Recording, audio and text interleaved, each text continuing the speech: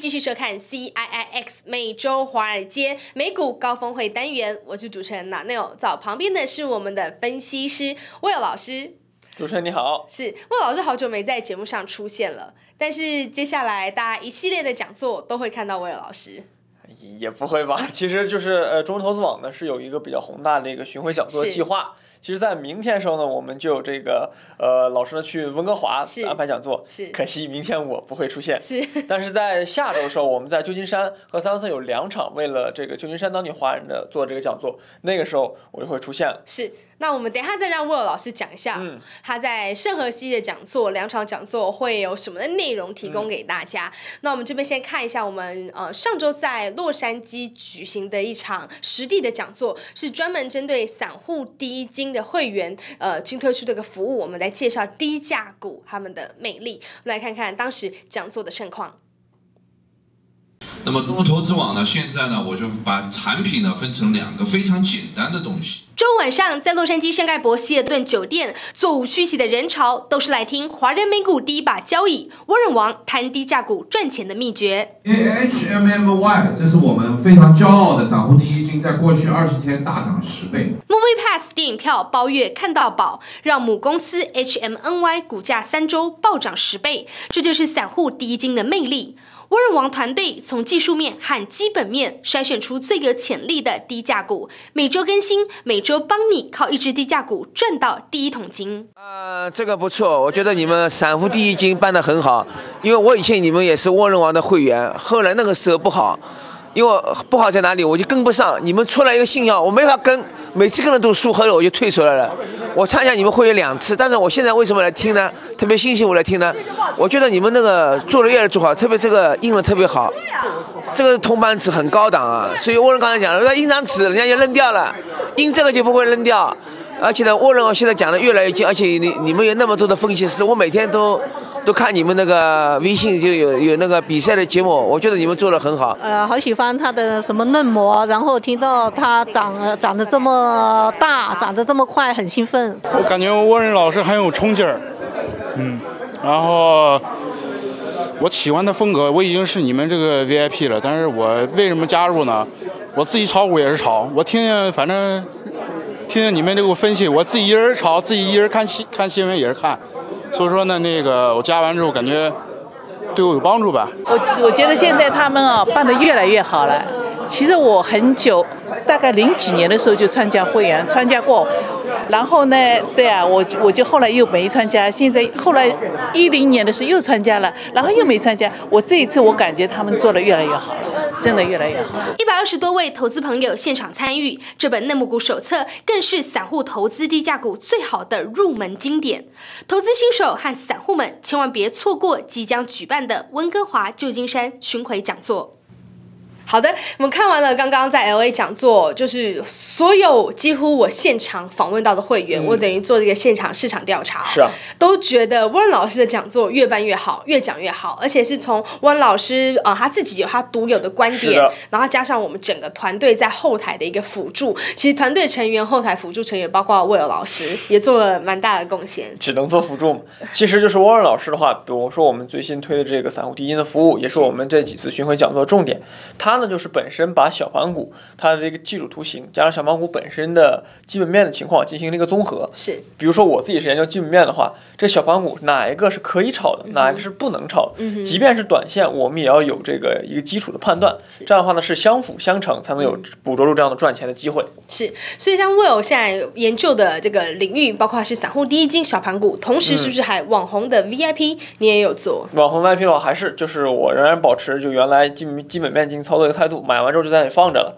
买完买完之后不动，这样的话就是现在我更加着重是分红，去寻找分红类型的股票，看能不能说给大家找一些，哎，买完之后可以不用看，就在那里放着就好的股票，它自己就会有一个上升的趋势，再加上分红也会有不错的收益。是，但是这这个关于这个赚分红获利这个细节怎么操作，魏老师是不是会在圣何塞跟这个旧金山两场讲座上有更细部的分享？是的，因为很多很很有很很多这个会员朋友可能还不知道分红到底是什么。什么呢？对，包括我，我也很想听这一块，所以我有老师到时候旧金山的讲座上要细讲这一块。好的，对，因为像很多人，包括是散户、投资新手，像是我本人，我们都会对于这种分红的这个概念不是很清楚，但这是不是是比较稳定的一个获利方式？是的，是好的。那我们就期待沃老师到时候在下周马上要开始的北加州巡回讲座两场，圣荷西还有旧金山哦湾区的北部，我们会有两场讲座，到时候沃老师、汪润老师、所有老师、布伦老师、Jason 老师都会在现场和大家见面。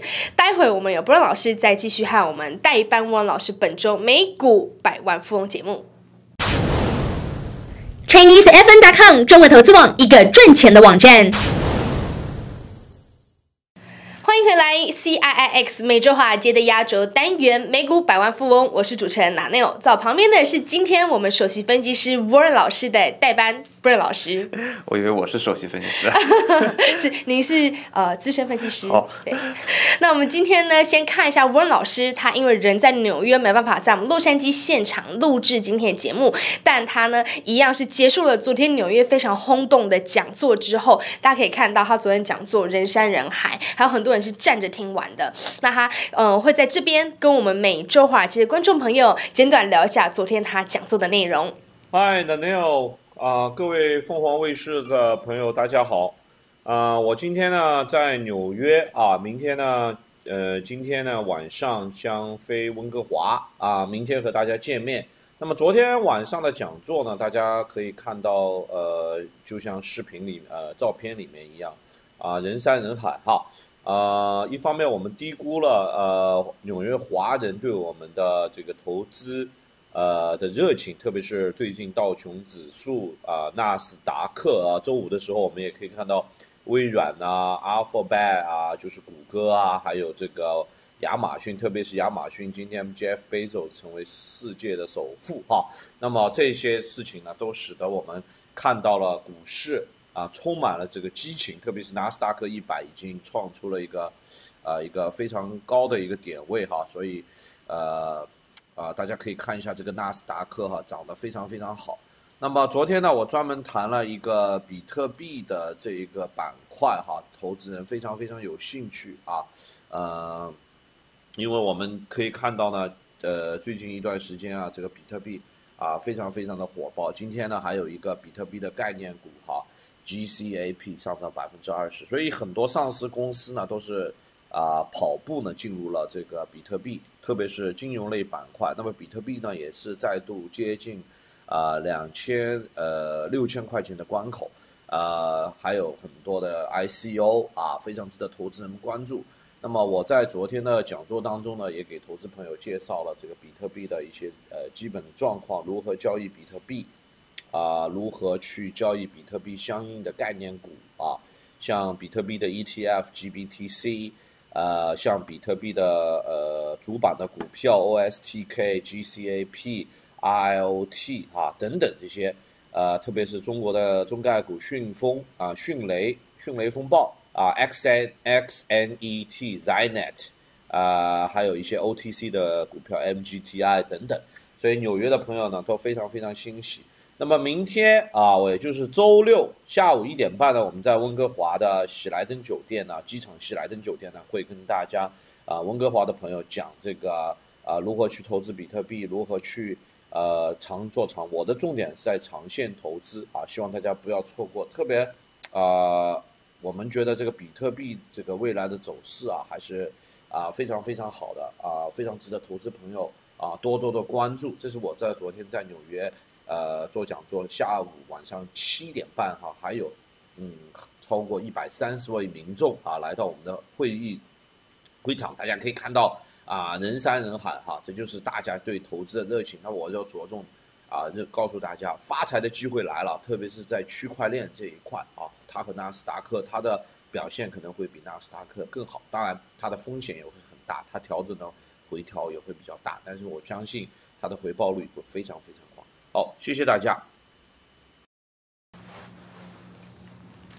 好的，我们看完了温老师推荐的这个比特币概念股哦。不让老师这边，我们是不是除了纽约讲座之外，就是温老师一个人独撑大局哦？但是非常轰动，受到热烈欢迎。然后他温老师也推荐了新的概念股。那同时，温老师也刚刚在视频也提到，他今天晚上要从纽约飞温哥华，和我们所有的温哥华的投资朋友见面。不让老师也会在现场，温哥华现场。对。我们是今天晚上飞从洛杉矶飞到温哥华，呃，其实在这次温哥华上面呢，主要是 想跟大家谈一谈操作。嗯，中文投资网有很多的服务项目，那么很多的想要炒股的这些朋友们呢，各个需求是不一样的。那总有一款定位是服务于你，就是我们希望能。